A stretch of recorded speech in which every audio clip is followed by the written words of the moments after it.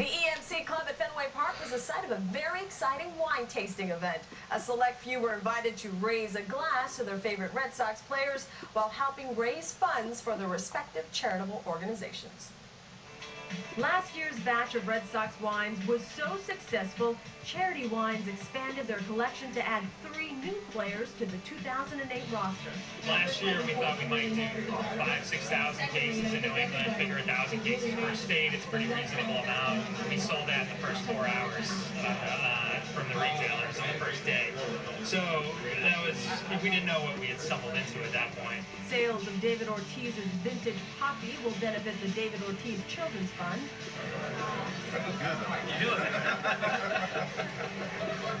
it's funny because you know you uh, as an athlete you pretty much never involved me with uh, any product that have alcohol in it, but because of the because of we doing it, uh, important. Proceeds from Jason Varitek's Captain's Cabernet will help pitching in for kids. It's neat, but you know, it can it can help to, to raise money. Um, you know, for the two areas that that, are, that, that we, we chose, it would be it's, it's a great great opportunity. And Kevin Youkilis's Sauvignon Blanc raises money for Hits for Kids.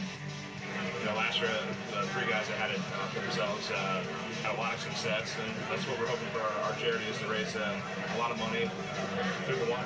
The three new wines join Curt Schilling's Schilling Chardonnay, Tim Wakefield's Cabernuckle, and Manny Ramirez's Manny Being Merlot. All three wines sold a quarter million bottles for charity in 2007. There you have it, Red Sox Nation. Three new great-tasting wines to enjoy this summer. What more can you ask for?